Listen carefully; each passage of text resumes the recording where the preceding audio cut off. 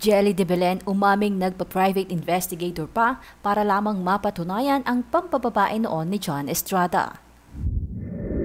Ibinahagi ni Jelly de Belen ang kanyang reaksyon kaugnay ng mga aktor na nakarelasyon ng kanyang ate na si Janice de Belen. Inamin rin ni Jelly ang tungkol sa pag-hire pa niya ng private investigator para lamang mapatunayan at mapakitaan ng ebidensya ang kanyang ate patungkol sa panloloko ng ex-husband nito. Inamin din nila Janice at Jelly na ang isyong ito ang sumubok umano sa kanilang relasyon bilang magkapatid. Sa interview sa kanila ni Karen Davila nito lamang January 8 sa YouTube channel nito, napag-usapan nila ang issue nang tanungin si Jelly kung sino sa mga dating nakarelasyon ni Janice ang hindi siya boto. Diretsahan namang sinagot ito ni Jelly.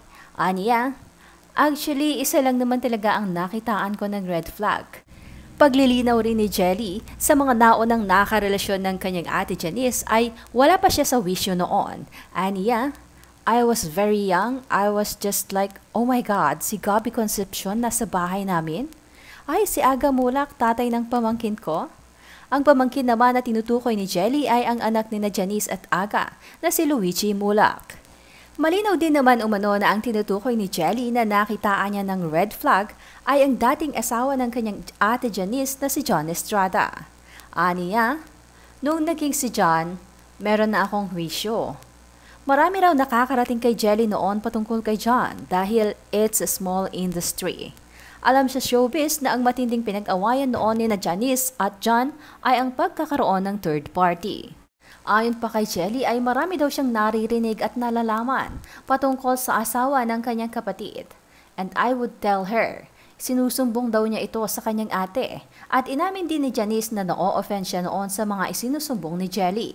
Ani Janice, so feeling ko kontrabida lang siya, hindi ko siya pinapansin, nagagalit ako sa kanya after, silent war kami. Pagbabalik tanaw pa ni Jelly ay noong mga panahong iyon na hindi daw siya handang pakinggan ng kanyang ate Janice. Hindi raw si Jelly mismo ang nakakakita sa mga sumbong ukol kay John, ngunit maraming nakakarating sa kanya. Dagdag pa niya, yung common friends and the people in the industry. Thankfully, parang nakikita mo talaga that they're concerned and they're real and they're true because they call me. They would call me and tell me, this is what I saw. Nagpasubali rin si Jelly sa kanyang kwento. Ayoko namang siraan na si John, parang tapos na yan, okay na. We're just talking about it. Ito yung pinagdaanan namin. Umamin din ang magkapatid na ito ang naging hardest part ng kanilang relasyon bilang magkapatid. At dumating pa raw sila sa puntong gusto ng tumigil ni Jelly sa pagsusumbong kay Janice tungkol noon sa mister nito.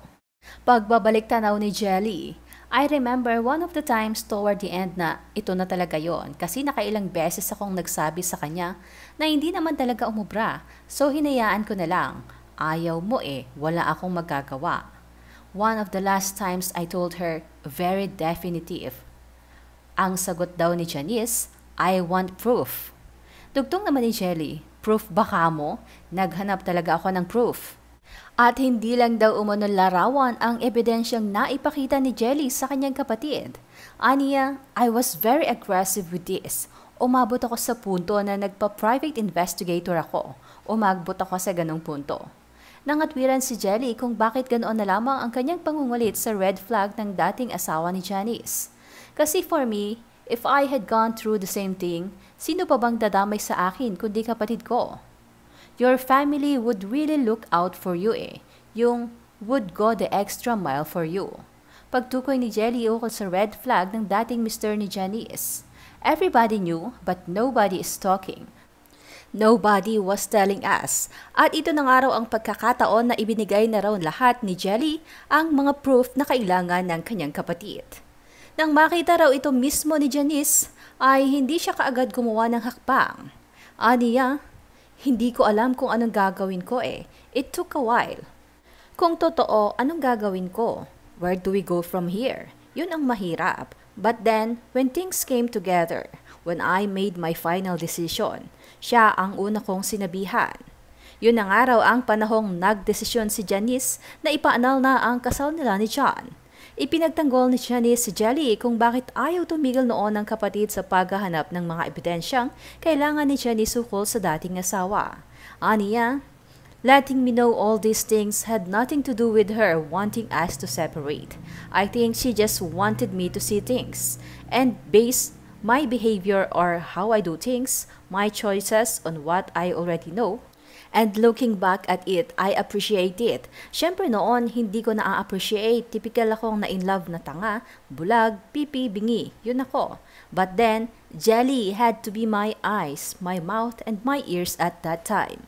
Matatanda ang ikinasal sila Janice at John noong 1992 at naghiwalay noong 2001 matapos ang siyam na taong pagsasama.